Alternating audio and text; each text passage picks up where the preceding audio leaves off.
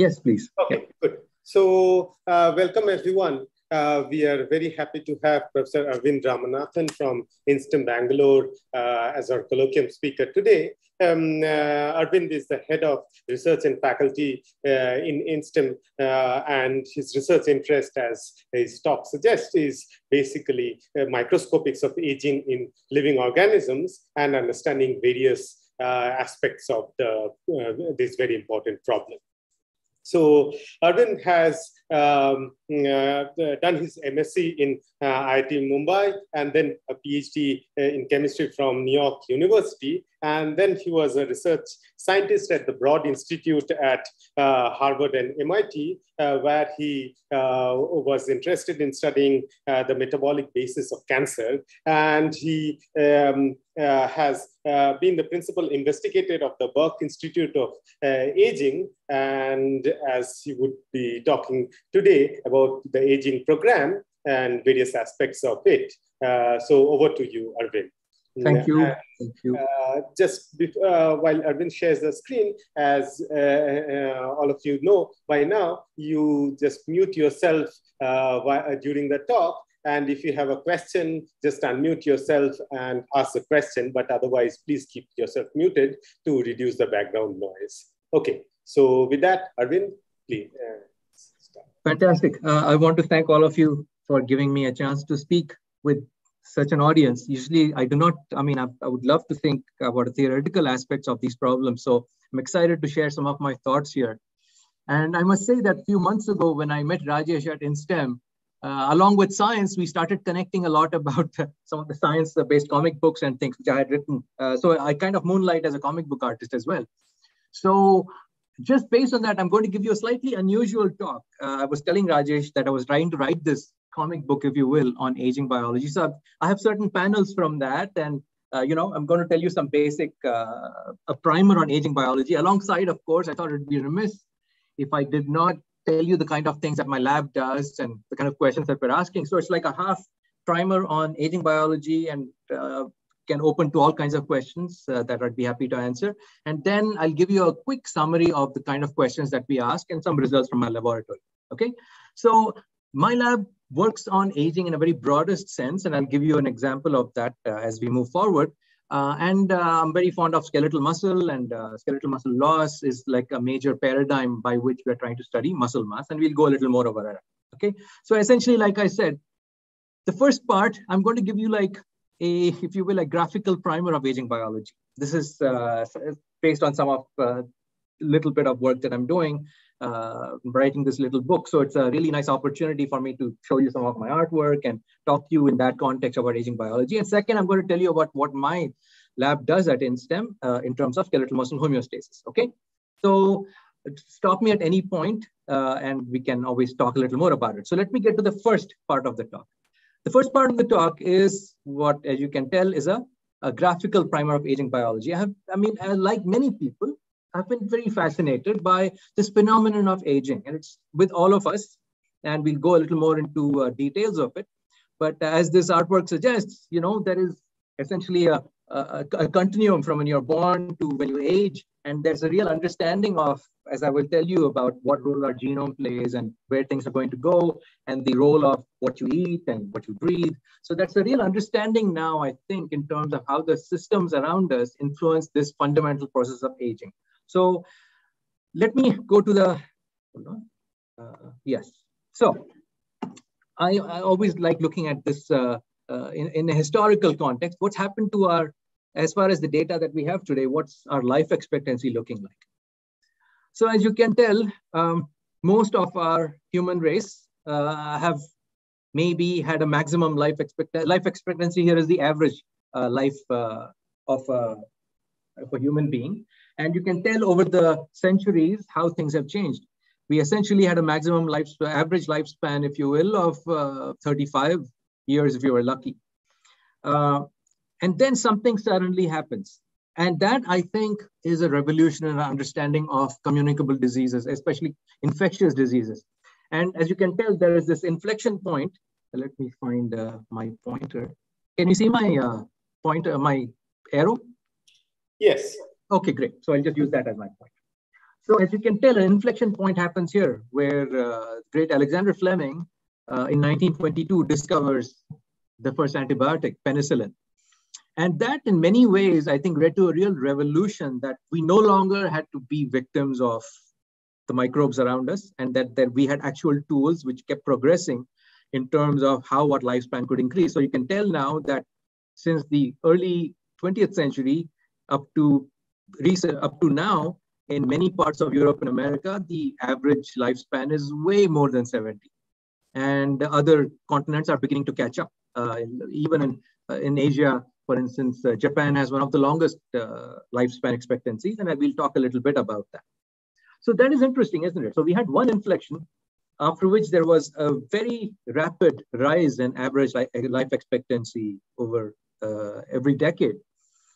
And now there is a renewed notion that all this work that's been happening over the past 20, 30 years in our understanding and engineering of the genome, bioengineering, and everything, uh, new insights that we have about nutrient sensing, signaling, and so on, which I'll talk a little bit about, that we might be on a cusp of something special happening right now, very much like maybe what we had in the 20th uh, century. We don't know if that's going to happen, but let us look at a few things that are moving us in that direction.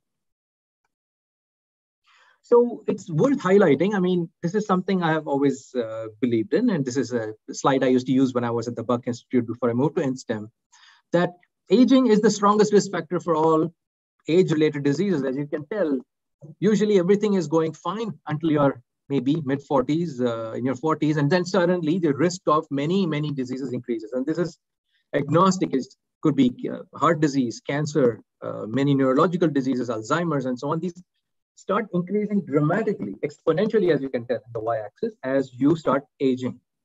So there is this notion that yes, you can treat specific diseases, try to understand how cancer works, how heart disease works, how Alzheimer's works, and there is great merit to that.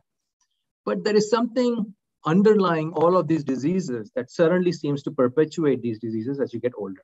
And the, the concept is that if we really get to understand the fundamental mechanisms by which organisms age, we might be able to, in a uh, more systematic fashion, be able to address number of these diseases. So, as uh, the great uh, naturalist O.E. Wilson had, E.O. Wilson had once said, essentially that if you want to understand what human beings are and how our biology works, it is best to work to really try to understand how things work in nature because all evolved from that. That's an obvious thing. So let us ask these. So these are all panels from my uh, book at this point, uh, which I hope you enjoy. and so the so let's see what we understand from nature. So I love looking at uh, images like this. Uh, lifespans vary dramatically across the animal kingdom. You can, we will talk a little more about flies and worms going on you have mice which live for about a few years, you have squirrels, and you have all of these cats and dogs and all of these things. And suddenly you start seeing these animals live longer and longer. You have like this blue whale essentially that lives about, I mean, we don't even know really, but the oldest blue whale, I think, uh, probably is around 70 or 80 years old. Then you have human beings, and you have these incredible uh, bald eagles and all of that that are known to live close to 100 years old. Then, of course, as you all know, there are these massive uh, tortoises. And then you have the uh, bowhead whale. Uh, nobody really knows how long a bowhead whale lives, but I recall when I was in California, they, something had beached on the, uh, one of the, uh, something, one of the whales had beached where they found all of these spears and all of that from about 200 years ago or so. So we really don't know how long these mammals live, but they live more than 150 years old. And of course, then, as you have heard from numerous papers and maybe even talks that you might have heard, there are organisms that are essentially immortal, like the jellyfish and the planaria, which uh, a couple of people at INSTEM work, the hydra, and so on, which for all practical purposes are constantly generating and are able to live. That's so that's remarkable that nature has essentially decided to have animals that live from a few days right up to you know hundreds of years to being immortal. And we are not the only ones, and there have been numerous people who have wondered what governs this. Why? How did nature? How does evolution decide on the lifespan of organisms? Let's not go too far into these details, but there is a notion that, look, as you increase your body mass, your lifespan increases. And that is true in this graph, that essentially you have larger animals like elephants and uh, these large uh, bears and so on that live very long. And uh, the smaller animals like mice and cats etc don't live that long. So maybe this is about essentially body mass and uh, basic physiology that's happening. But that's not necessarily true right? Because you have numerous dogs like these big i forget saint bernards and then you have the chihuahuas which complete which saint bernards don't live very long they live about seven to eight years, I believe, and Chihuahuas are known to live 15 or 20 years. So even within the same species, you know there is a huge variation which doesn't necessarily obey this rule. And more interestingly, uh, there has been some very interesting. Well, the, the obvious thing you see from this graph is that you have body mass, but there are animals like bats and, and uh, parrots and eagles and so on, which live way past, way beyond what their body mass would predict. So clearly, it isn't just about body mass. And there was this very beautiful work that was done by Professor Steve Austad at uh, University of Alabama about 20, 30 years ago, where we looked at these opossums that had individually evolved in an island and then in the mainland. And he found that the ones on the island generally had a very, very uh, about 20 to 30% increased uh, average lifespan, which told you that it wasn't just the physiology, but the environment and the exposure to predators and so on. Uh, he, a really seminal piece of work which told about the effect of predators and environment on regulation of lifespan. So the answer and the, the answer to this question is not very simple. Uh, there is no obvious thing that jumps out at me. And now you have, uh, even with like, uh, as uh, many of our aging biologists, we love studying this naked mole rat. Naked mole rat can live about 40 years or so. And the same rodent, which is essentially a rat and so on, they essentially live only a few years. So it's remarkable that within the same species, you have this huge increase in uh, huge increase in lifespan, even among mammals. And we won't go in too much into that. There's a huge amount of excitement to understand what is it about these naked mole rats that makes them so resilient compared to rats. And uh, there is this compound called hyaluronic acid, which they secrete a lot, which is supposed to have anti-cancer effects and numerous other things. Uh, there's, this is a field unto its, itself. Also, there's a couple of colleagues of mine who are studying this very interesting problem, right? Essentially from the same egg. It's the same egg, essentially a clonal uh, bunch of eggs. All you do is feed them royal jelly, and you essentially have a female queen who grows out of that, can live up to 50 months whereas a female worker lives, you know, a drone essentially lives just two months. So this is really, really interesting that genetically they are, they are essentially, you can be identical, but all you have to do is feed during certain stages in development to feed these royal jelly and so on. And you can take the same genetically identical egg and now make it live 50 months instead of just two months. So this is again quite remarkable and all of these different uh, models to study in terms of what regulates aging, what governs lifespan.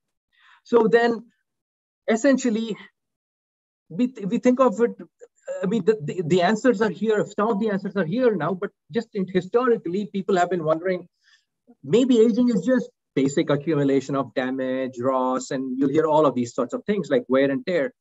And some people have argued that this isn't just wear and tear and so on. This is actually a genetically regulated program by the genetic code. It could have been either of these. And now I'm going to tell you the seminal experiment that helped us understand which of these it was. And this is, it's worth mentioning that, of course, uh, lifespan is very hard to study. You just can't accelerate time. But uh, most of the lifespan studies, I think the real hero of this is the C. elegans, which many of you know has numerous stages of its life. And there is a decision made in the L1 stage, which allows it to go into a kind of a suspended animation called a Dauer state. And this animal has been extremely uh, useful in terms of uh, understanding uh, what I'm going to tell you next in terms of genetic programs that regulate aging.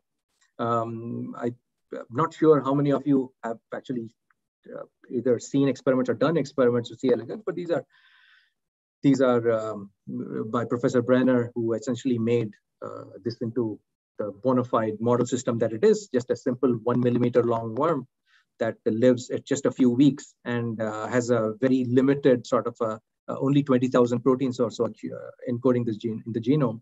And it can be very easily genetically manipulated to try to understand. Okay, so these systems have been existing for a long time. So what happened? I think the seminal experiment that really, I remember I wasn't in grad school at that point. I was just in college or so. And I remember this buzz about this paper. And then since, of course, this has gone a long way, I think people were skeptical of this experiment and what it meant, but I think it's really a remarkable experiment where uh, Professor Cynthia Kenyon and Tom Johnson also at the same time discovered the similar gene. But what they did was essentially they took these C. elegans um, and they did a random mutagenesis, ENU mutagenesis, and they found single gene mutations and they screened uh, uh screen genes that might have an effect on health span and uh, lifespan. And I think it was a very brave experiment because there numerous news naysayers uh, because there was never a gene that had been found where generally the worms live up to like 20 something days. The knockout of this one gene called DAF2 essentially dramatically almost tripled the lifespan of these worms. And that was quite a remarkable observation. I think a seminal experiment that told you that a single gene, if you mutated it, could dramatically increase lifespan. And later on, they also found another incredibly important gene I'll come to called DAF16. They did some genetic analyses where they knocked out uh, DAF2, and they found that DAF2 could have its activity in life ex lifespan extension only in a DAF16 dependent fashion. That is, if they remove DAF16, the worms would not live any longer. As you can, I don't know how many of you have looked at lifespan survival data, but it's a pretty simple but laborious sort of a thing, which has been automated at this point. But essentially, you'd have a whole bunch of graduate students, uh, you know, propagating these worms and poking them to see if they were still alive or they were dead. So it is manually scored, uh, but it's very standard reproducible type of experiments. So this was the seminal experiment in my in, uh, in, in this field, which essentially said that lifespan might be regulated on a genetic basis. Okay, so how do you know a, a worm has aged and all of that? So I won't show you real experimental data, but uh, this is a very, very well-established field where there are numerous biomarkers that you can take a simple worm and you will know what are the um, things to look for in terms of its aging. There are molecular level changes, cellular level changes, there are tissue level changes, and this figure just tells you how uh, what happens progressively when a um, worm ages. And uh, as you can tell, uh, we're going to be talking a little bit about uh, these sorts of older cells which have high mitochondrial damage, high ROS, increase in nuclear size, and so on on a cellular level. But uh, also in terms of movement and muscle homeostasis and all of these things, very much, I would say, remarkably like mammalian, more advanced systems, does go down the same road, essentially in terms of loss of homeostasis as it ages.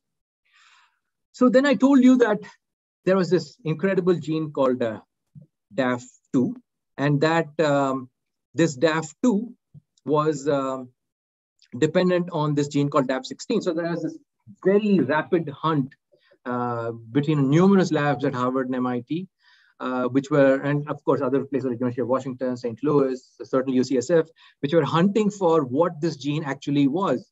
And the credit for this goes to Professor Gary Ruvkun, who was at the Mass General Hospital at this point, where they did some very nice experiments and they found that DAF2 was very much like an IGF-1 receptor. And that, again, I'll come to the next few slides. It is quite remarkable to me that these kinds of basic insights from worms translate so nicely to higher organisms. But let's see. We all know what IGF-1 is, insulin-like growth factor, uh, you know, the receptor for that. Insulin like growth factor is essentially secreted by your liver when you have a whole bunch of sugar and you've eaten all these very nice things that needs to be digested. Liver essentially secretes this uh, hormone called IGF-1 and IGF-1 now binds to its receptors in other organs like fat and muscle and so on, and it helps you to take up the glucose and to digest it. So what Gary had found was this amazing fact that a very conserved gene that was a receptor of IGF-1, which was called DAF16. And he, of course, uh, did uh, some uh, homology analyses of uh, these uh, genes to find what it was. And he later on found that was uh, DAF, DAF2, sorry. And then the, the, the gene DAF16 that DAF2 was responsible for that he did some more of these uh, genomics analyses and conservation analyses and found that DAF16 was actually this conserved transcription factor called the forkhead-like receptor, uh, forkhead-like transcription factor. So I think these two papers, these two discoveries really blew the door open, which we are still uh, benefiting from. That number one, there are these insulin signaling based pathways, and there are specific conserved genes in there that if you mutate, you can increase lifespan. And that we also know, have some knowledge of transcription factors that mediate the signal from the insulin growth factor to mediate the lifespan effects.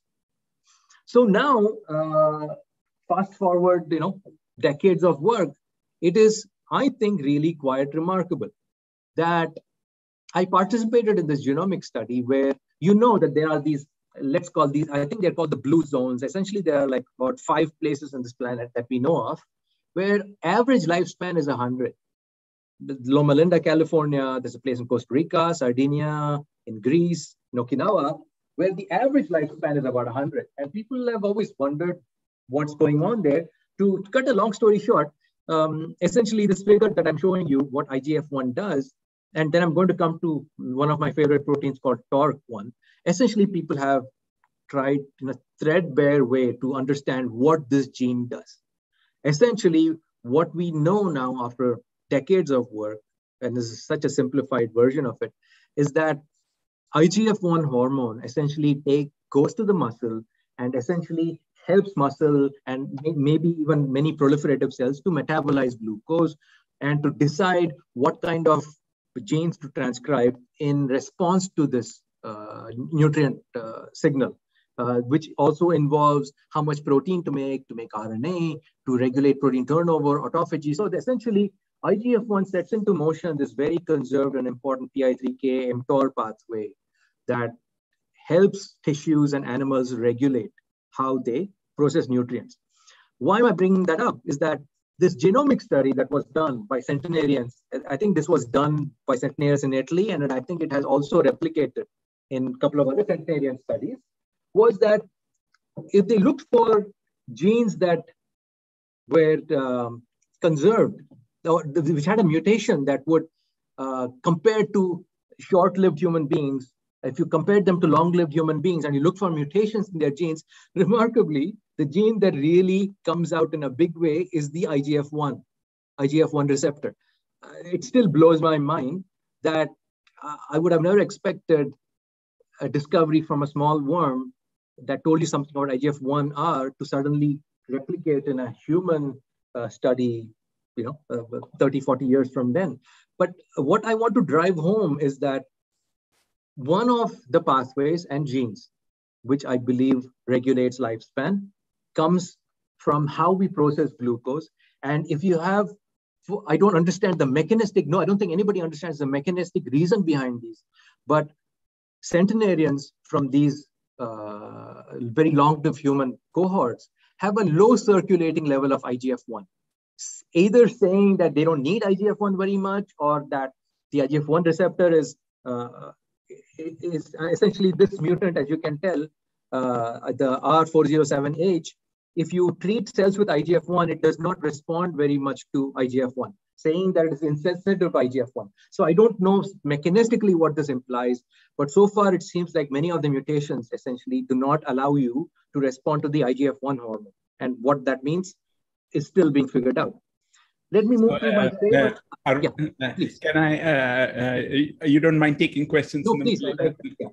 No, so thanks. Um, so I was wondering whether you can you disentangle this uh, low level of IGF-1 circulating amongst these uh, centenarians from say other external factors like their diet or something like that uh, or is the, is this a kind of a two-way process, meaning that uh, uh, maybe you'll touch on this, uh, uh that it's a combination of uh, what? It is a combination, but there is a genetic factor. I mean, it, this is inherited by children, even if they don't have the same lifestyle.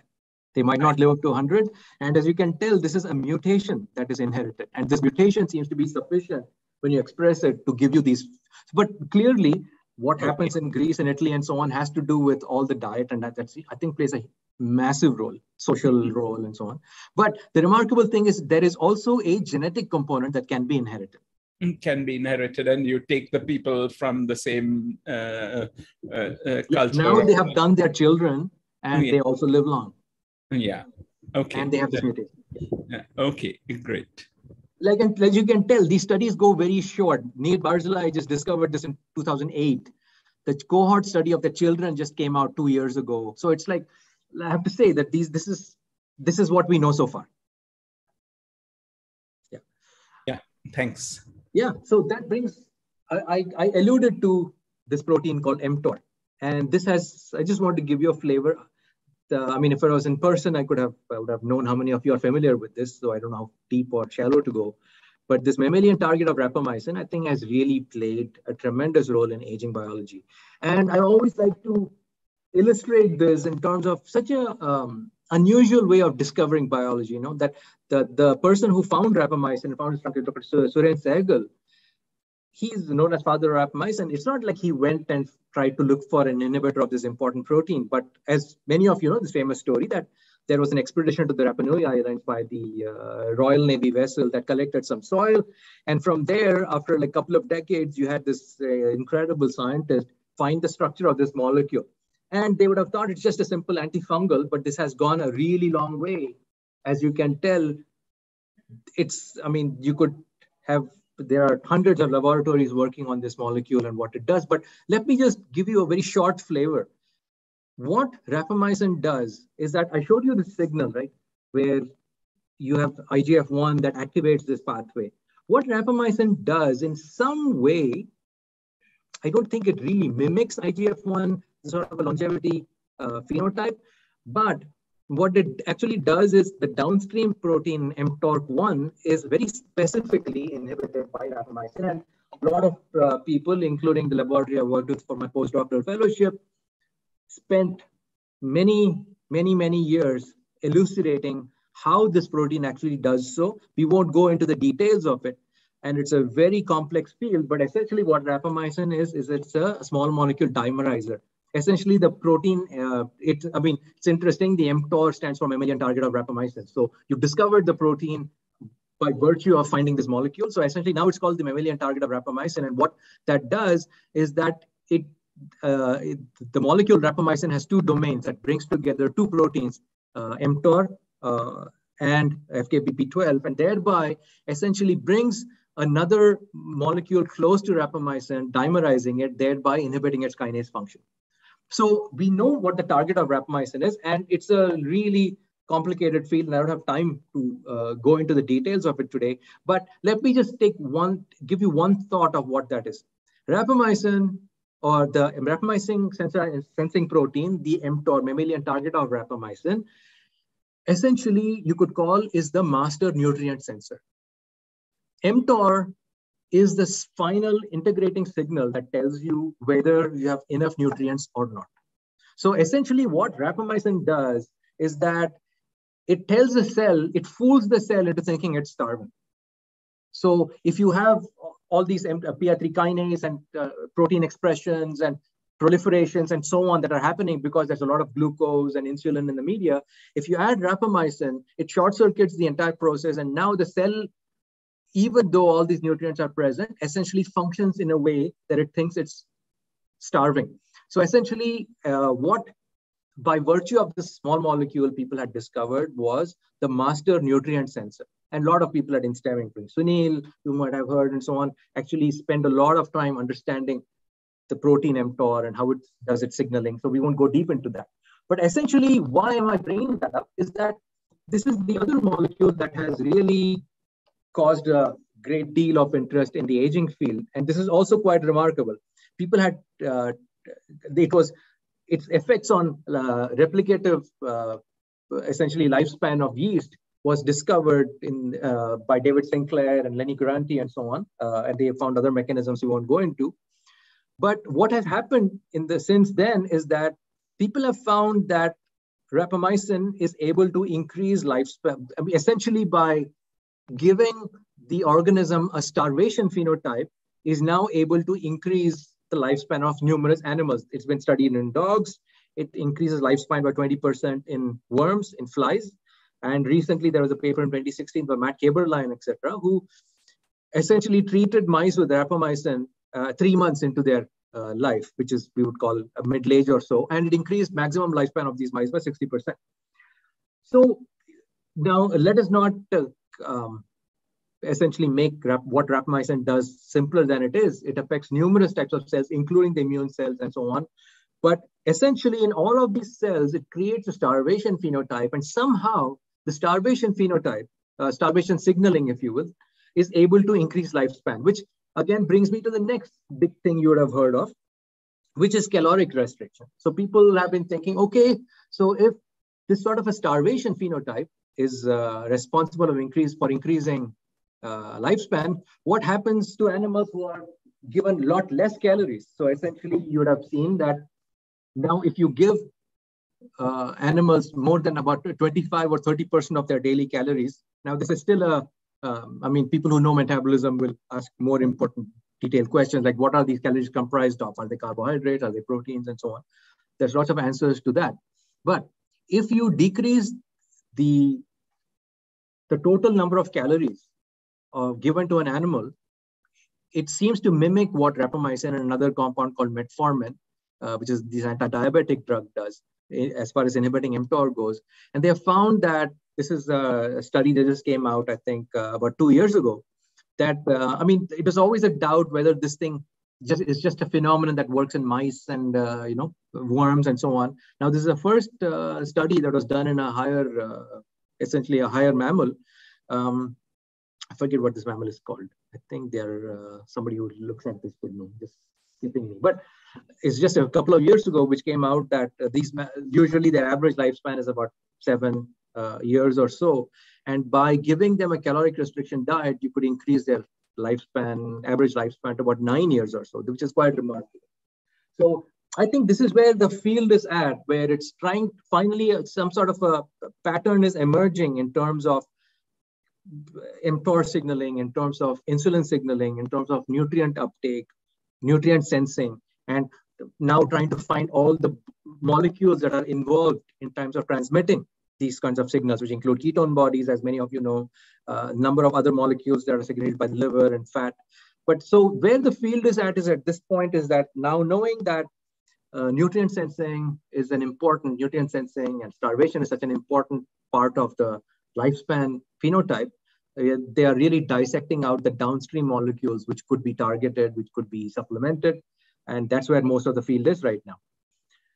Now, again, uh, I made the picture a bit more complicated at this point, but this is, I would say, not even close to our understanding at this point. We know a bit more, but I just want to put this big map that I found from this paper that essentially where this whole lifespan um, lifespan regulation thing is going are it, what's emerging at this point are these central players that are talking about mTOR I haven't told you about AMPK, which is one of those major molecules that rapamycin and other antidiabetics uh, uh, regulate. There's these compounds called resveratrol, which you have heard, which comes from uh, red grapes and so on.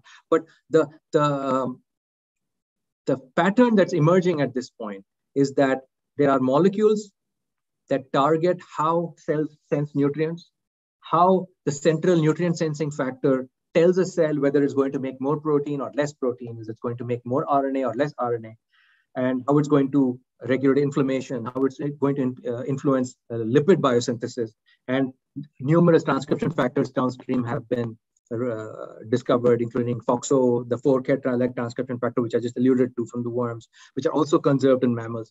So all of that is coming together by telling us that possibly intervening in this pathway might have some positive impacts on lifespan.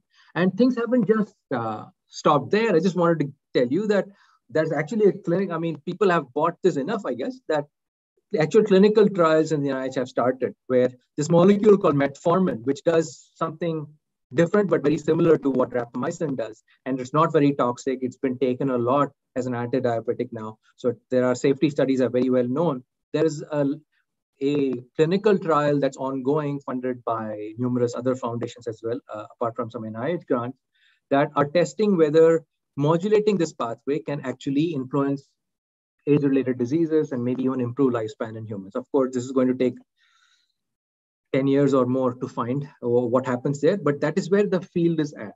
And that is, this is the kind of pattern that's emerging. Um, I have a question. Yeah.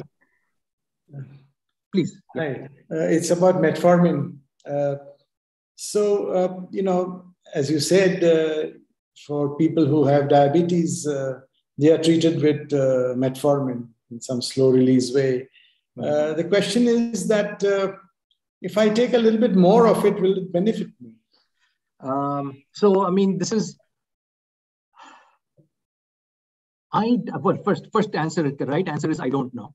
Second answer is there's a lot of snake oil in the field. And because a clinical trial has started, there's actually a notion of the, the dosage that is being suggested. And uh, I think it is worth looking to the clinical trial and seeing what kind of dosage they're suggesting. It is fairly non-toxic, but I just don't know how much less or more is at this point. Yes. Yeah. Okay, thank you. Yeah. Uh, yeah, please.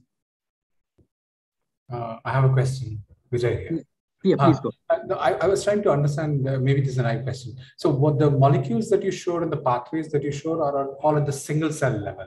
In multicellular creatures, yeah. won't there be regulation? No, no. Uh, yes, you're absolutely correct, but it has gone to the multicellular and physiological levels. And the question you ask is absolutely correct. Uh, which tissue is responsible and so on is still yes. under study.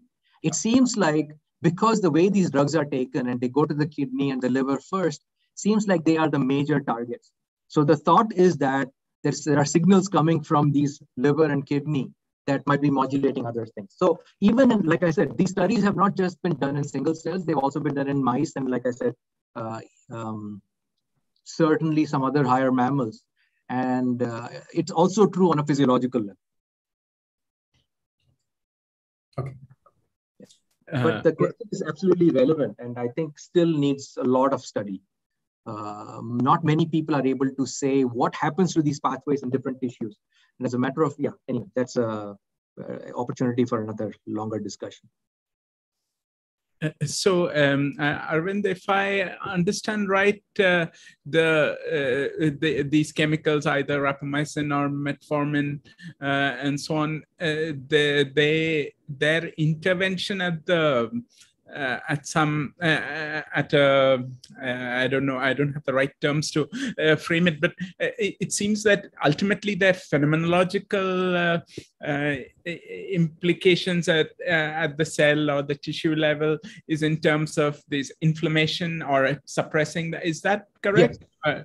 yes. I mean the the molecular it is targeting the protein mTOR, and the protein mTOR essentially regulates uh, sens sensing of glucose and insulin and relays this signal to translation and uh, protein turnover and all of that. Now, the implications of this molecular targeting has different implications in different cell type. If you target this in an inflammation uh, inflammatory cell like a T cell, which is where a lot of studies have been done, you're correct, inflammation does go down. Okay. If you target this in the liver, the liver no longer is able to make glucose. Mm-hmm. I see. So yes, uh, th- this pathway is present in every cell, but what it does in terms of physiological regulation depends on which cell it's being targeted to. I see. Uh, I see. Uh, and uh, and you say uh, protein synthesis when you say that's uh, that's I mean you you want to inhibit protein synthesis or yeah I mean so I, I, I think so. I think the beneficial effects are more on the side of protein turnover and autophagy.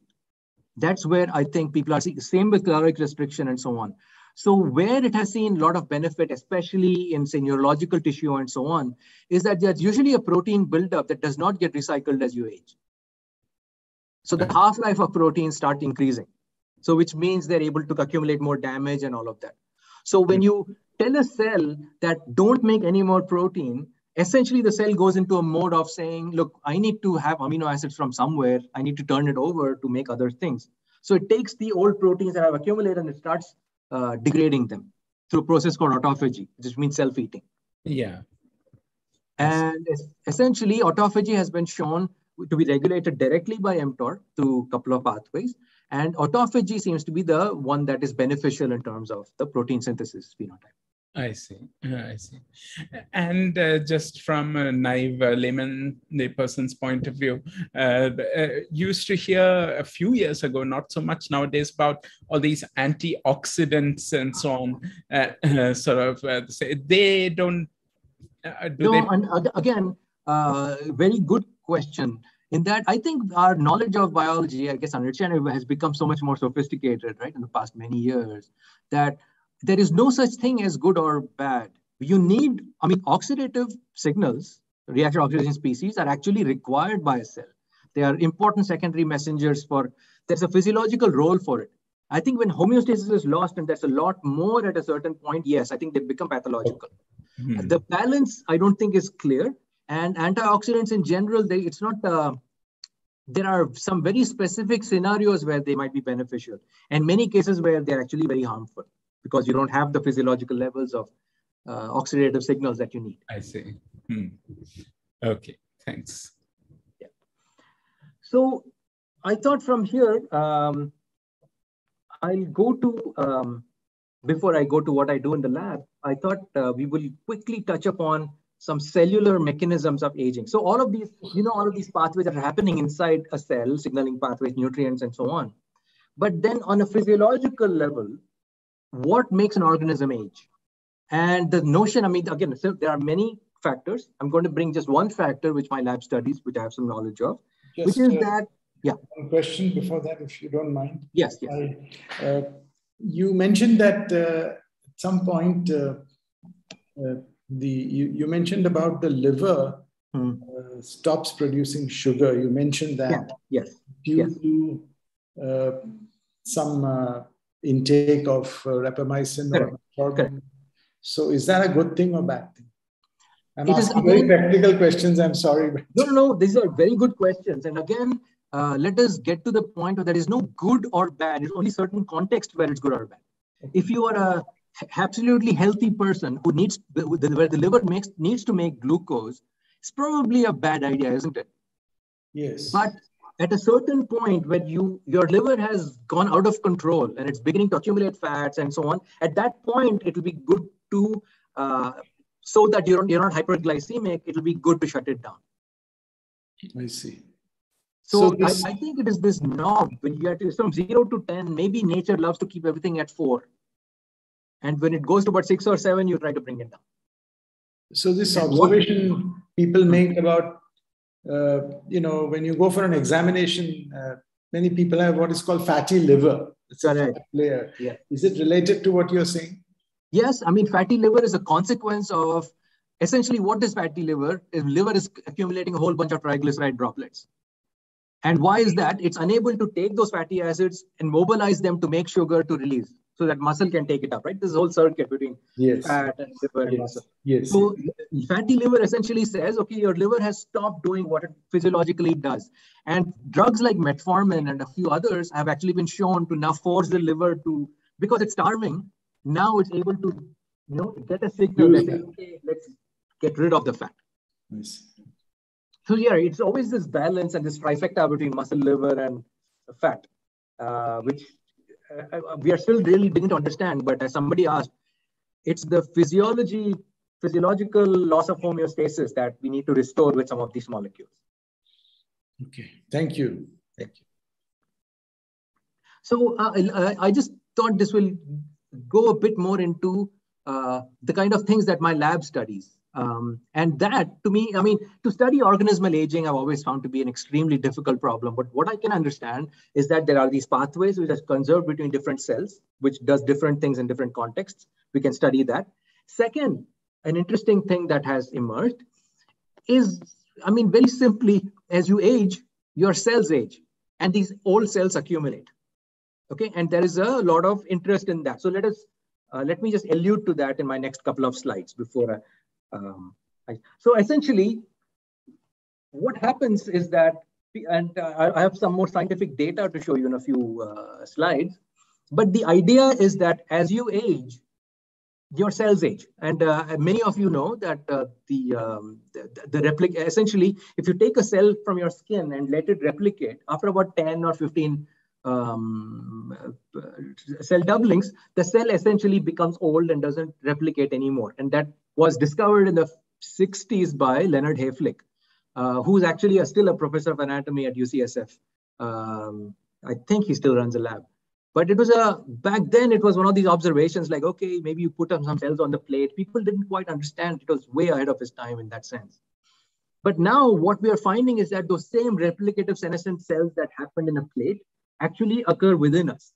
That over time, uh, your, your body is no longer able to turn over these old cells, and these old cells essentially accumulate. And there is a real new, I would say, renewed revolution in this area of senescent cells or old cells, where we think this might be one of the targets to uh, change how the aging works. So essentially what I'm trying to show in this cartoon is that you have young cells that over time become old.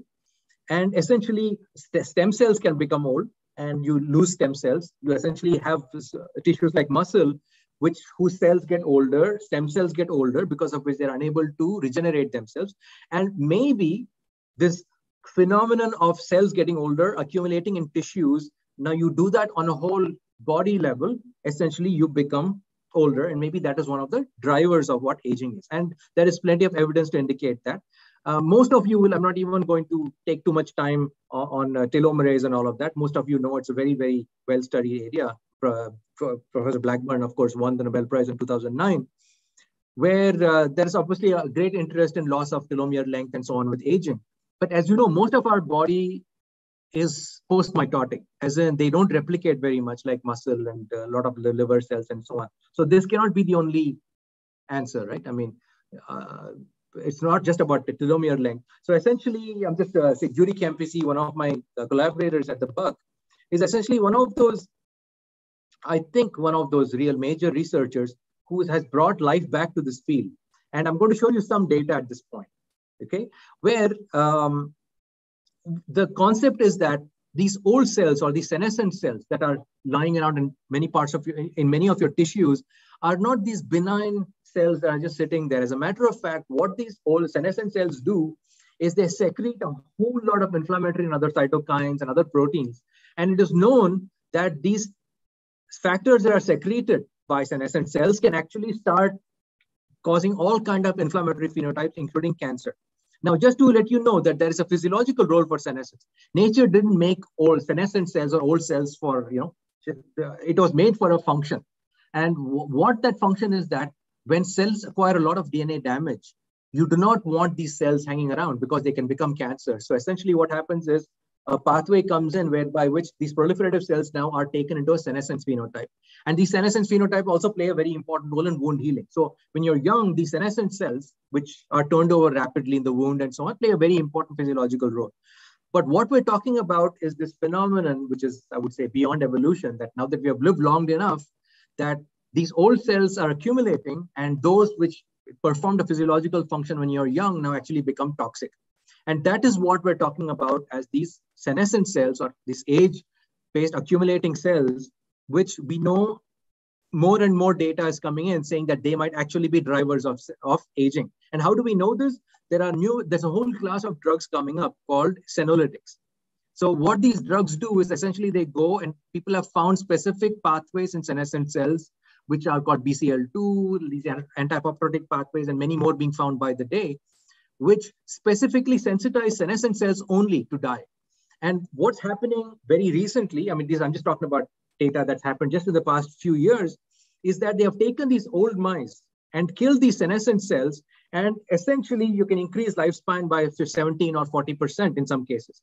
So what, so my lab works on senescence, and I'll show you a little bit of what we have done.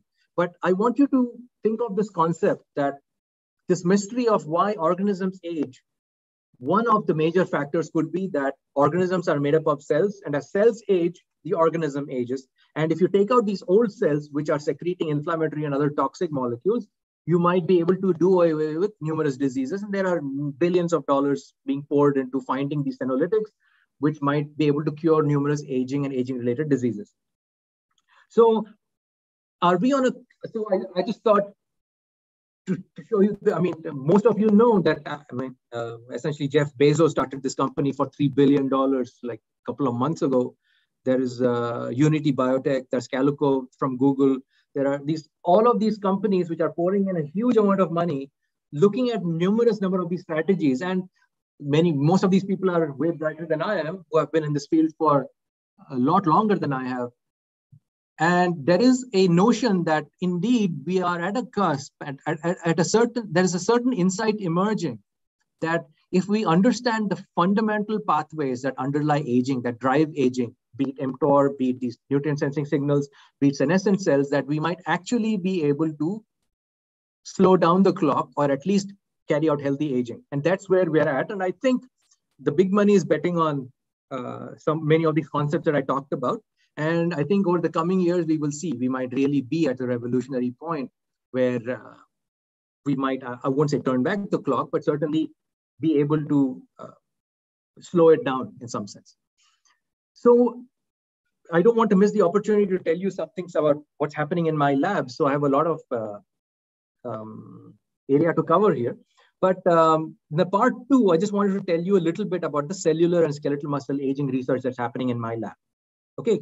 Now, first part, I'm not going to tell you a lot about. We just published this last year. But again, just to let you know that the senescent cells that I talked about, these old cells, these have been found in every tissue as people age. From they are known to play a role in neurodegenerative diseases, in adipocytes, in kidney cells, and skeletal muscle cells, and chondrocytes. There's a lot of interest in that these accumulating senescent cells and our joints and so on might be the ones which are driving uh, arthritis and so on. So it's kind of interesting, isn't it? We are suddenly not looking at uh, liver fibrosis or eye degenerative diseases or cancer or uh, arthritis. We're almost looking at all of these diseases that are maybe driven by uh, uh, some common cell types, which might be a therapeutic target. So essentially, we have really come to a, we're really at an evolution in terms of trying to understand senescent cells in terms of their molecular alterations and uh, their, which include mitochondrial dysfunction, loss of protein homeostasis, epigenetic alterations, telomere alteration. So many of these things go wrong in parallel in, to form a senescent cell, and these senescent cells accumulate in different tissues, and these senescent cells might actually be driving diseases in many of these tissues. And one of the things that my lab studies is thing called SASP, senescence associated secretory, secretory program, if you will. So like I told you, these senescent cells that accumulate in different tissues are not these benign sort of cells. They actually secrete a lot of inflammatory cytokines. So they're just sitting there, they're protein making factories, which are constantly uh, inflaming the tissue. And this inflammation of this tissue by sec secreted factors, which include proteins and lipids and so on, this disrupt normal stem cell function in the tissue. They might promote cancer, they might promote inflammation. So my lab is really, I'm not going to go into the details of it, but we just published this paper last year in Cell Metabolism, where we found that senescent cells are doing what they do, which is uh, toxic in terms of pro promoting inflammation by, by secreting an important uh, sec uh, lipid called 15D-PGJ2. And what we also found that was that if we treated uh, the senescent, and I won't go into the, this paper will tell you a little bit about what are the mechanisms by which these lipids promote uh, senescence, which is uh, through a protein called HRAS, you've heard of P53 and so on. But I want to spend a little more time on the other problem that we work on. So we work on senescent cells and we try to understand what are the factors that are being secreted by senescent cells and how these factors change the surrounding tissue environment. So that is one of the things that we work on and that part of it has been published last year. But the other thing that my lab is very interested in is uh, the phenomenon of skeletal muscle aging in metabolic disease. Like I said, this is the second largest tissue after your skin in the body. And if you have a dysfunction in skeletal muscle, it's going to cause all kinds of issues in the body, and including aging. Uh, there is an age-related uh, loss of skeletal muscle homeostasis called sarcopenia. It can cause diabetes and obesity. If you because like I was mentioning, nutrient sensing and glucose uptake and insulin and all of that. This is where the glucose goes. When you have glucose in your body, it has to go somewhere, and skeletal muscle is this thing. It is the largest source for which uh, insulin signaling happens and it becomes a sink and it's made into protein. So if you have a loss of skeletal muscle mass and uh, homeostasis, you get diseases like obesity and diabetes. The, uh, one of the very interesting uh, phenomena that my lab is going to be is working on, which I'll tell you a little more about, is limb immobilization. Isn't it interesting that if any of us, we stop using our limbs, even for about 10, 15 days, you start losing skeletal muscle mass significantly. And this also happens in space flight and so on. And we are really interested in understanding the mechanisms by which a skeletal muscle decides to lose muscle mass and function because of mobilization. I won't tell you a little bit about some rare diseases, which are also like Duchenne muscular dystrophy and so on that are involved. So my lab is interested in dissecting these mechanisms, these metabolic mechanisms, which make this tissue decide that it's going to lose mass. And what is that decision point is what we're trying to understand. So essentially, if you want to change muscle homeostasis, what you have to do is uh, essentially lose uh, skeletal muscle mass. And as many of you know, muscle can atrophy if you don't use it. If you go to the gym and weight lift, you'll get uh, much uh, bigger muscles. And also, as many of you know, it isn't just muscle is composed of numerous fiber types. There are these fiber types that uh, a marathon runner has called type 1 fibers. They're highly mitochondrial. If you look at the, you know, um, if you look at the muscle color even of a marathon runner, you'll see it's red. It's uh, it's essentially taking up a lot of hemoglobin and using a lot of glucose for mitochondrial metabolism. But if you look at like a, a weightlifter, a sumo wrestler or something, you'll see that they are a lot less red and it's a different fiber type. So we're trying to understand this phenomenon of how a tissue decides to be big or small and how it responds to different needs. And second, of course, is the other distinguishable part, which is regeneration.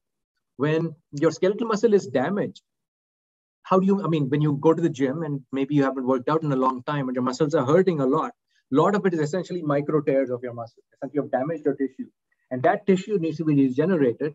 And how that happens is by resident adult stem cells. And my lab studies these adult stem cells, and these are just some molecular markers based on which we'll know they are stem cells. They are essentially present in the basal lamina of a skeletal muscle.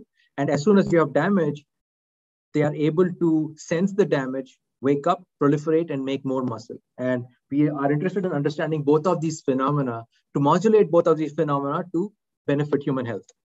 So the, this phenomenon, like I told you, of how muscles, uh, how stem cells wake up and make more muscle, uh, essentially is governed by numerous factors. One of the things is skeletal muscle metabolism, the kind of nutrients you take and the kind of nutrients that are available, oxygen and so on, have a huge impact on whether these stem cells are able to make more muscle there's an emerging huge interest in uh, ECM signaling and mechanosensory signals. We don't study that specifically, but it is very well known that changes in mechanical signaling of these stem cells essentially govern whether they're able to proliferate or whether they're able to differentiate. And finally, like I said, there are numerous, as you age, there are these senescent cells that accumulate in skeletal muscle, which are now able to secrete factors and change how a muscle is able to regenerate.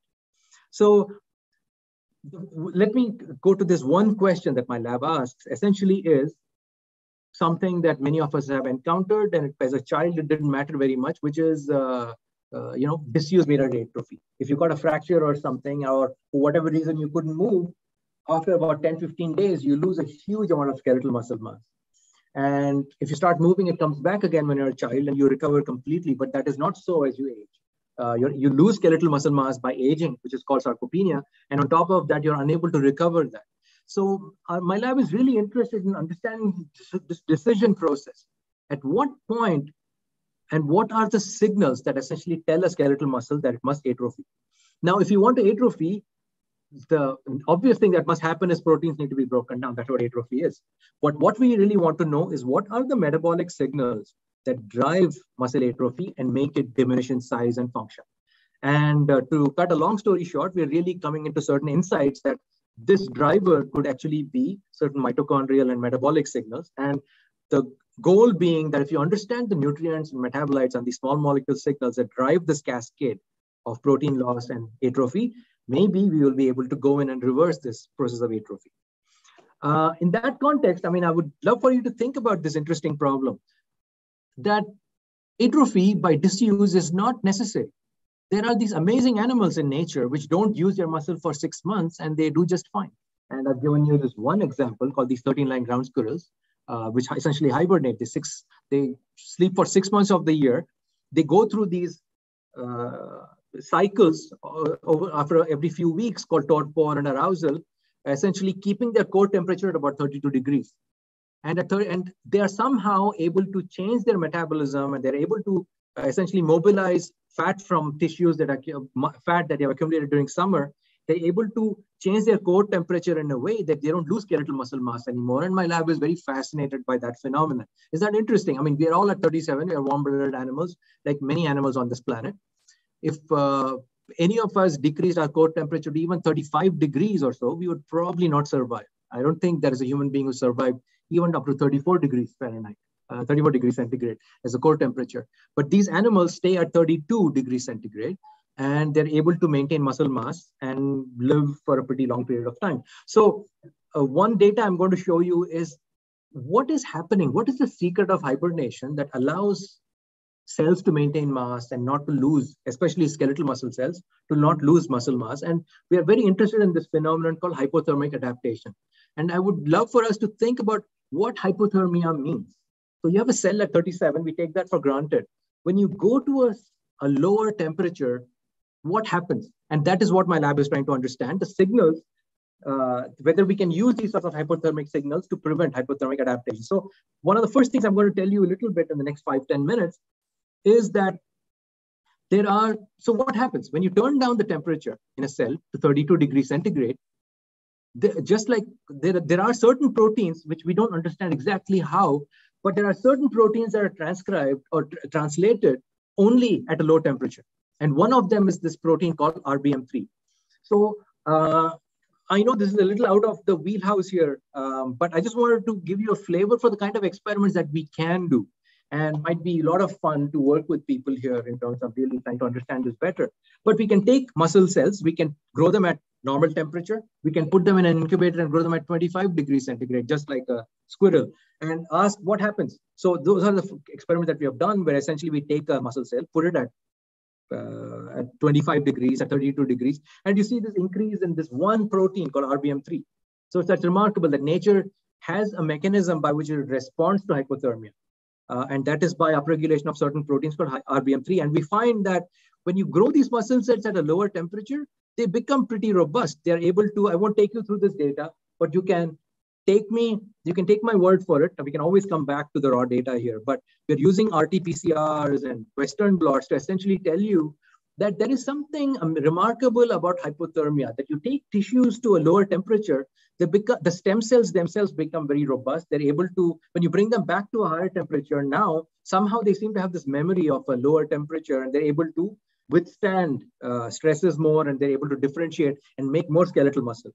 So we are really trying to understand what this protein is. What is so special that uh, at low temperature, this protein goes up. So again, we are trying to find the structure of this protein called RBM3 and really trying to understand the different domains of this protein. And it is essentially an RNA binding protein. Like I said, it has an RNA binding uh, motif and we really don't understand um, what RNAs it binds to, but then it has this major uh, disordered domain.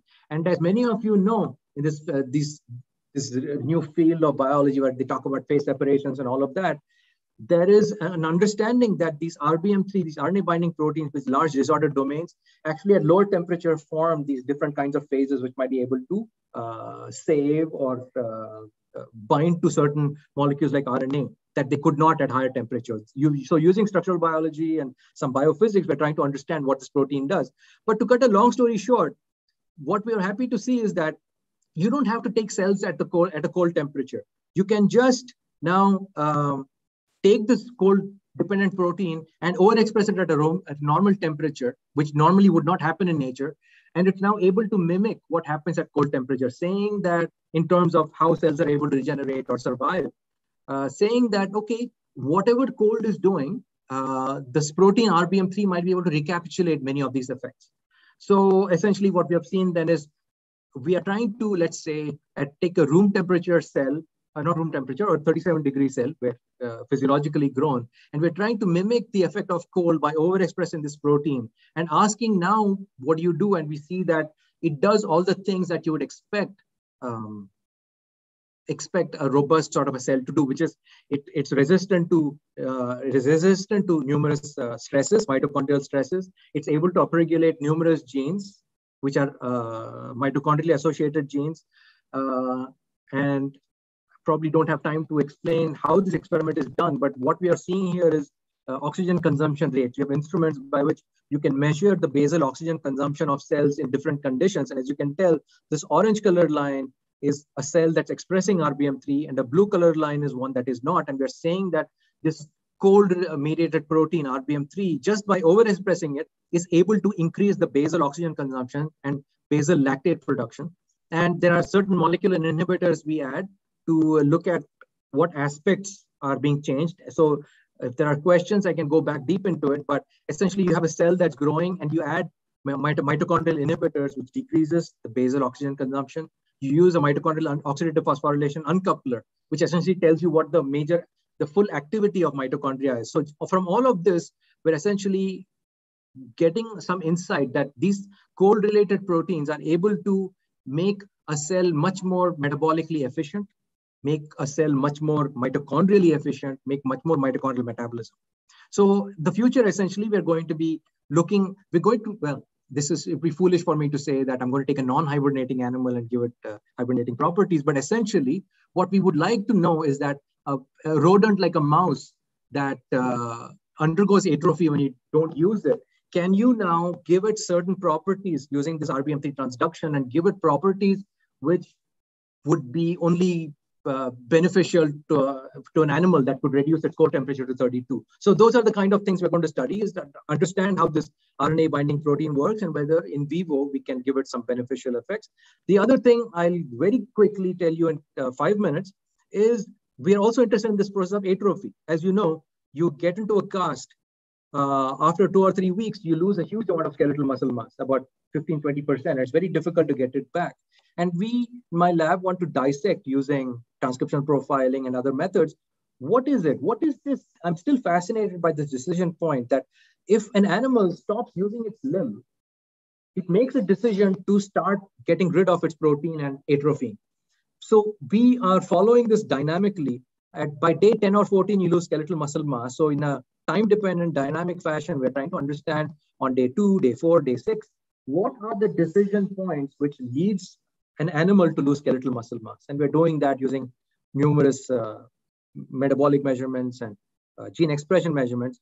But to cut a long story short, what we have found is that even though you lose muscle mass only on day 10 or 14, by day six, there is a major decrease in oxidative phosphorylation mitochondrial genes, which is leading us to, uh, like I said, we're trying to find this decision at which the muscle decided to lose skeletal muscle mass and what were the decisions along the way? And if we know the early decisions that went into making that uh, loss of skeletal muscle mass can we go target that? So just using uh, transcriptional profiles we have found that maybe one of the earliest decisions that is being made is a decrease in mitochondrial metabolism telling us that there are signals coming hypothesizing that there are signals coming from the mitochondria which might be telling a skeletal muscle that listen keep your mass and if you lose this signal, maybe you go down this cascade of losing skeletal muscle mass. And we are in the process of dissecting the small molecules, mitochondrial derived small molecules that, let's say, we might fool the muscle into maintaining skeletal muscle mass, though it is uh, not being used. So again, the future directions here, as you can imagine, is now we are finding these small molecules that we might think might prevent skeletal muscle mass uh, loss uh, during disuse, and whether if we can add those back into these mice, whether we can even though they're disusing our limbs, can prevent muscle uh, wastage, which I think could have an immense impact on all kinds of diseases, including, of course, as we age and we lose skeletal muscle mass, or if you're uh, in a hospital, stuck in a hospital somewhere and unable to use your limb. So uh, just to leave you that we are not just working with mice. Uh, we know this happens as you age. It's called sarcopenia. Whether you like it or not, after the age of 50, we start losing about 1% of skeletal muscle mass. You can try to put it off with some weight training, resistance training, but it's almost inevitable uh, to start losing muscle mass. And losing skeletal muscle mass has an immediate impact on balance, on frailty. Uh, as I told you, skeletal muscle is the major sink of glucose. So if you don't have enough skeletal muscle, you start developing other metabolic diseases like diabetes, fatty liver, and all of that. So our goal is that if we find signals that will drive a muscle to lose its mass and function, either by just by aging or by liver mobilization, we could use these kinds of uh, this kind of an understanding to understand these nutrient signals to stop this. So um, very quickly, um, we are. It's this is not a pipe dream. Uh, this is a uh, something came out last month where they have started finding compounds that seem to be associated. This NAD, which I told you, which is synthesized from the mitochondria, that seems to be abundance of that molecule seems to be negatively associated, positively associated, or let's say if you don't have enough of the skeletal muscle of this molecule, uh, there seems to be a major decrease in skeletal muscle mass, telling us that yes, we are on the right track. There are these mitochondrial derived compounds which might actually be uh, playing a role in terms of losing skeletal muscle mass and function as you age. Now, whether you can treat that back and prevent it, we don't know. That is something we plan to do, uh, which is um, I, we just started this uh, National Sarcopenia and Frailty Group, uh, which will hopefully become a society next year, where we really want to drive fundraising and research and so on in this clinical study of sarcopenia. So this is some of my colleagues in the Baptist Hospital with this foundation called Vayah Vikas by Kris Gopalakrishnan and a couple of other healthcare providers, where we are start doing a clinical study. We are taking you know, it's amazing. There are some aged people who don't lose skeletal muscle mass and they do just fine. Uh, they're not that many. But then there are aged people who lose skeletal muscle mass quite rapidly. So we are trying to find these cohorts as people come into the clinic to take their blood and really try to understand these metabolic markers, which will help to predict either nutrients or uh, different kinds of inflammatory molecules, even the microbiome actually, which I didn't talk about, uh, which might be predictors or modifiers of sarcopenia. So that is something we're excited about that we're moving forward with. So with that, I just wanted to thank my laboratory at inStem. And uh, these are about people who do all the hard work. And this company called MitoPower, who is uh, really supplying us with many of these drug-like molecules, which we hope to be testing in the near future. Thanks. Thank you, Arvind, for this nice talk. Uh, we had questions during the talk, so more questions. Yes. Uh, yeah. Uh, uh, hi, Arvind. Uh, wonderful talk. Thanks a lot. Uh, uh, that and all the graphics and everything. Yeah, I think, glad you enjoyed that. Yes. I'm looking forward to the book. Oh, so, is so in the second part when you mentioned um, this RBM3 and how it increase, you can sort of uh, by expressing it, I guess, if I understood, uh, by expressing it, you can uh, mimic the effects of uh, hypothermia. Yes. Uh, and increase the basal metabolism rate. is there a way so sort of two questions uh, is basal metabolism rate also expressed by i mean are there some genes which uh, because some people have yeah. intrinsically higher meta- basal metabolism rate some people have a lower one are there uh, is the genetic basis yeah. of the basal metabolism rate understood yeah. could that be a pathway to understand uh, just like you mentioned in the first part of the talk about the igf mm one. Mm. Uh, could there be something similar here where, uh, just like there were people, centenarians, who uh, had this uh, genetic uh, marker, for, um, could there be something like that in terms of the basal metabolism rate? I think you ask a very good question. People have talked about this, what a rate of living or whatever it is. You're absolutely correct. What is basal metabolism in the end? You know, mm. what is it? It is essentially how much I'm going to say how much VO2 max, how much oxygen you're able to take up, how much glucose you're able to take up and generate heat, which is essentially how much glucose your skeletal muscle is able to take up and generate heat to keep your core temperature high and uh, all of that. So um, I, I, under normal circumstances, there's one question and what happens in hypothermia is another. So right, right. If, under hypothermia, you're decreasing your basal metabolism dramatically. Right. And but still you have to keep it at a certain threshold so that you don't die. So that's so, why the RBM3 kicks yes, in. Yes. So we there. think you when you take take your core temperature where you're going to die, there has to be a certain compensatory mechanism that keeps it at the enough of a level that you are able to uh, right. survive. But you raise a very good point because now we took what was happening in the cold and now took cells that are in normal 37, your normal right. basal, right. and we raised that above the basal. Exactly. So, is so, there a genetic thing which uh, like ex- enhances RBM3, for instance? Uh, uh, ah, oh, I don't know. You know, I've been fascinated by this protein, as you can tell. What happens is this protein seems to be translate, uh, transcribed throughout, even at any temperature. It, if you measure the RNA levels, usually it's about the same in any temperature. It's only at a cold temperature it gets translated. And that seems to have to do with the secondary structure of the RNA. At a certain temperature, it takes on a secondary structure that's now able to, in an interesting way, bind to the ribosome and translate. Mm-hmm. So um, the gen- so so RBM3 that's one thing. It is not genetically controlled, but rather controlled okay. by, by secondary structure. Okay. But what controls basal metabolism are their genes. Now, I think uh, basal metabolism, um, I can take a guess for a few things. The major drivers of basal metabolism is um, is mitochondria. Let's say, okay. Mostly, if you have muscles with a lot of mitochondria, they're going to be taking up a lot of glucose and cons consume oxygen and increase your basal metabolism. That there are specific pathways actually controlled by mTOR, uh, but there are specific transcription factors called PGC1 alpha and other things like PPARs, uh, PPR deltas, and so on. So there are genetic pathways that can regulate basal metabolism. And in fact, you can take mice and express these genes and increase the basal metabolism that way. I see. So there are genetic ways of doing this.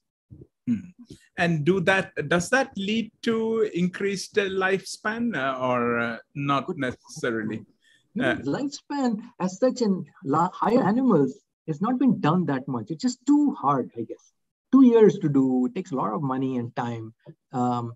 What often people do nowadays is that they take these uh, um, accelerated aging mice, you know, with the lamin knockout and so on, and they do studies there. But whether I don't, I think increasing maximum lifespan in a mouse is in a mammal is extremely difficult. They can increase, they compress the morbidity, they can increase the average lifespan, but maximum lifespan I don't think changes easily. It seems to be a pretty hard bottleneck. Uh, and if you increase basal metabolism, I am not aware of whether it does anything to uh, lifespan at this point. It certainly helps with disposing of glucose. People have studied all of this in the context of diabetes, which is where it's been studied, because you're unable to now have uh, at least a productive basal metabolism in terms of taking up glucose and fat. By doing this, you're able to switch your fuel from no uh, fuel to take up glucose. So it's been studied in that context. But I think, uh, as far as I know, uh, I'm not aware of what it does in lifespan. Thanks. And when there is a question uh, online by Srinivas Prabhu, you yeah. can read it, uh, or I can read it out for you. Sure. you... Oh, I can. Okay. Uh, shall I read it out? You can read it yeah. out. Yeah. You are okay. So, uh, hi everyone. Thank you for the beautiful talk, uh, Arvind.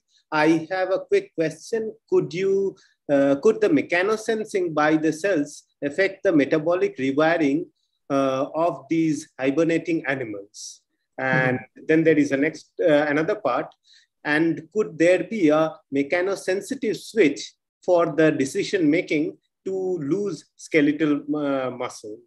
Because there, because that can be reversible.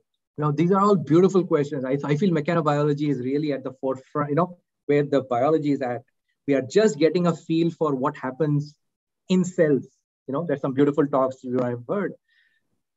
Measuring mechano, I mean, there is actually a beautiful paper just last week where there is a, a molecular sensor of uh, mechanical stress called piezo, I think it's called.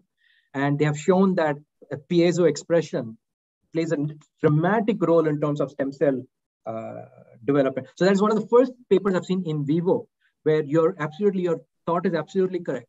That I think there is also huge, I mean, you're really asking a question at the forefront of the aging field. People do think that it is known that your ECM composition and actually your tissue stiffness and all does change with aging. And it, it is not far-fetched at all. Actually, as a matter of fact, it is from in vitro experiments, it is pretty clear that the mechanical environment of a cell has a tremendous impact, not just on proliferation and differentiation, but also its metabolism. And as you know, the people who have studied this to the greatest extent are the cancer people, because for them, they have thought in terms of uh, uh, metastasis and so on, right? You have a, a, a cancer cell in one tissue that now needs to metastasize and move somewhere else.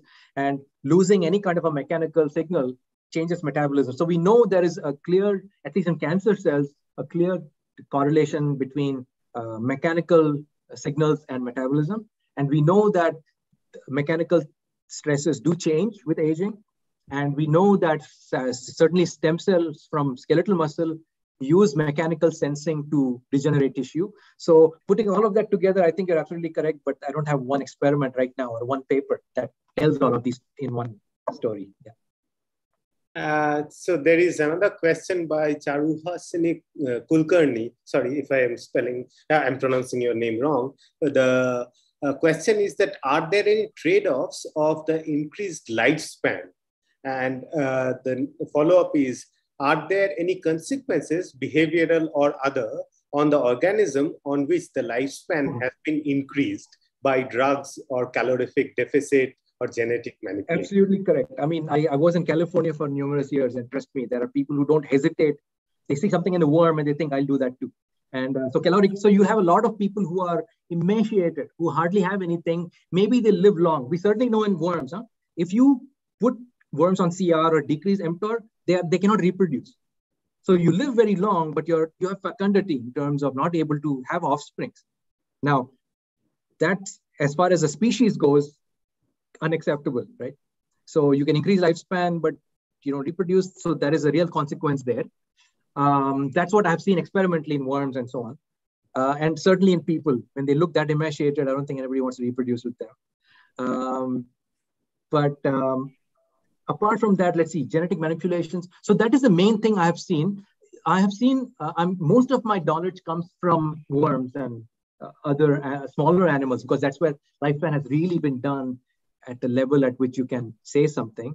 Um, there are these, I've seen worms that live four times the average, okay, really four times as long, but they are much smaller, they look a lot sicker. So you're absolutely correct. There is a consequence. I think there are some fitness trade-offs when it comes to lifespan. And uh, certainly the, I know for sure fecundity is one of those trade-offs, yeah. Okay, so more more questions. I think uh, Anupam Ghosh has a question. Anupam. Yeah, yeah. So my question is about uh, the slide that you had shown that the muscle composition of a marathon runner and a say a sprinter is different. Hmm. So uh, out of these two types, uh, which one is better off uh, in terms of uh, preventing this age-related degeneration of muscles? Fantastic question um, wow, that's something that we have really wanted to ask, haven't gotten great answers for. We know you lose skeletal muscle mass, and people have often asked, okay, but which fiber do you lose? Do you use the mitochondrial fiber or do you use the uh, glycolytic? Uh, do you use, lose the marathon runner fiber or do you lose the, uh, the other fiber? Now, in, in our mouse models, where we use uh, disuse atrophy, where you start losing muscle mass, it seems like over time you lose both okay? But it seems like the first thing at least see um, it depends on the muscle type also. Uh, not all your muscles have all of those fibers. Usually your load bearing muscles like your in in case of mice it might be different but certainly in our case you know the the gastrocnemius or the, the you know uh, those large uh, posterior chain muscles uh, are usually uh, type 2 which is essentially they are bearing your weight. As, as a matter of fact, I think most of your load bearing muscles, uh, like things that are holding up your posture, like your, your chest muscles and so on, they are not uh, the marathon runner type. They are the type 2, which is much more glycolytic. Uh, the marathon runner fibers are the ones that are doing, of course, doing a lot of the work, which is essentially your leg muscles, your calf muscles, and your quadriceps, and so on. So um, I think the answer to your question will depend on what muscle you look at. But there are muscles which are mixed fiber types, which is what we look at, which have both these types. And we have found that finally, when you have atrophy, both of these fibers seems to be lost. But the uh, the first fiber that seems to go seems to be the type 2 not the mitochondria not the marathon runner type 1 but rather the type 2 but that's just what i have done in mice uh, and as we do more human studies uh, we know a bit more uh, more questions uh, i can ask if uh, sure uh, so um, I mean, uh, maybe you touched upon it, but um, um uh, th- there's uh, neurodegeneration also. I mean, uh, with aging, uh, the Alzheimer's and other. This, is that correlated with the other kinds of degeneration, or, or is it that you might be able to enhance lifespan, but not uh, but it may not be correlated at all with the neural degeneration. Uh, I think it would depend on the disease. Um, I think so. For instance, we know Alzheimer's and Parkinson's also have specific etiologies for the disease, right? Which would be specific mutations and so on. In that case, um, I am not so sure. But if the hypothesis is aging, this is a hypothesis, one of the hypotheses we're working on when it comes to even neurodegeneration, that aging can be looked at as a loss of homeostasis. And homeostasis when it comes to metabolism, your fuel intake, and homeostasis when it comes to how you deal with your proteins and your protein turnover. Hmm. And that phenomenon seems to be the same whether it comes to muscle degeneration to some extent, certainly when it comes to neurodegeneration where there's an accumulation, as you know, of misfolded proteins, and there is a loss of protein recycling. And many people have actually, there are some major drugs which will come on the market soon, whose major target is going to be some of these proteins in the endoplasmic reticulum, which are going to force your uh, proteins to be turned over.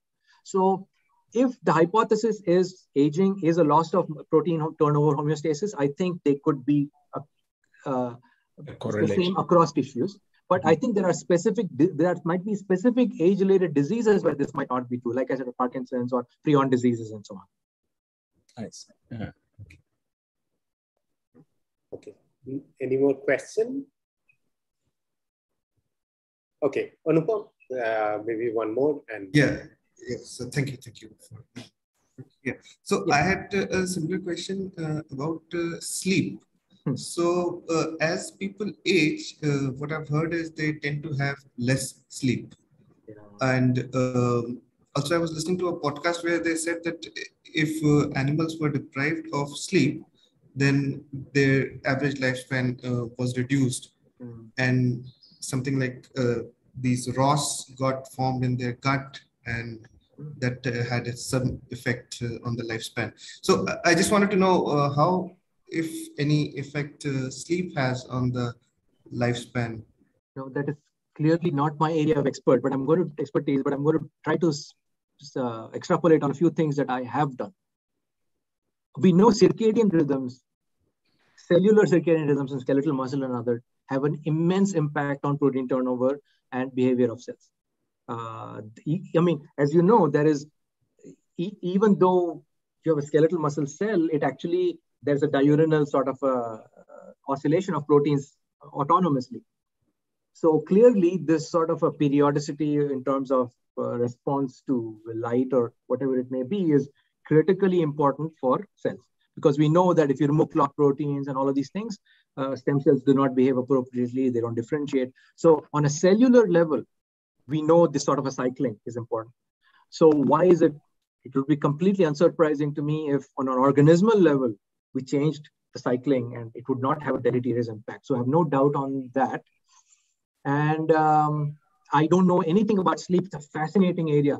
There is this colleague at UCSF who studies, but there is this mutation, I forgot. There's a paper in Cell a few years ago, where there are human beings who sleep only three, four hours, you know, and they do just fine. And most of us, of course, need eight or so. Uh, so um, I think there was some mechanism. I mean, trying to understand what sleep does, but one of the things I know sleep does apparently is pruning of neurons and protein turnover. A lot of your learning, your consolidation of your uh, uh, for memory in skeletal muscle, and all happens during sleep. Uh, so I would think that disrupting that would have deleterious consequences generally on. I mean, I don't know if directly on lifespan, but certainly on physiology that would affect lifespan, wouldn't it? Yeah.